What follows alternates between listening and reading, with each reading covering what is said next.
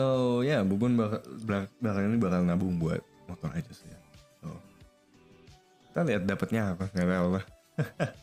Kalau bisa Bubun beli moge juga, why not? moge nggak tuh? Gila sih.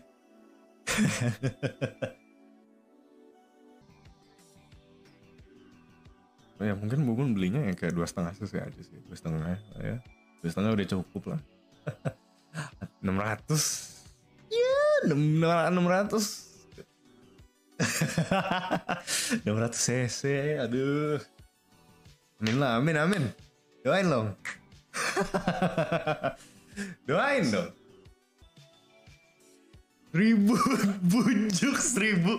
No no no no no no. Gue udah pernah nyetir seribu ya nyetir. Bawa motor seribu ya. Gue udah pernah. Gak mau enakan 600 Gak gimana ya? Di sini itu seribu ya. Kalau untuk Boban punya seribu itu terlalu banyak. 2000 eh 2000 2000 cc. What am I gonna have? A Harley or something? Freaking hell. So yeah.